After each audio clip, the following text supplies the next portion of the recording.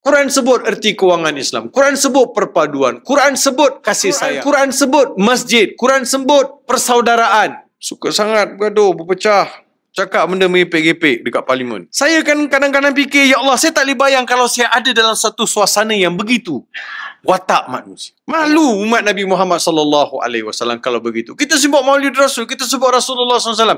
Mulut yang sebut Rasulullah, mulut yang baca Quran, mustahil keluarkan perkataan-perkataan kata nista ataupun perkara-perkara yang tak baik.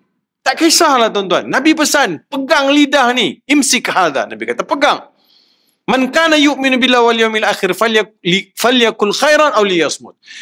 Tanda ciri orang beriman, dia akan cakap benda baik saja. Kalau benda tak baik, marah macam mana pun dia akan tahan lidah dia bercakap. Once you cakap benda tak baik, benda buruk, dia seperti cawan tu John, jatuh ke bawah lantai, berkecai. You ambil sambung balik, mungkin boleh sambung balik, sama tak dengan original?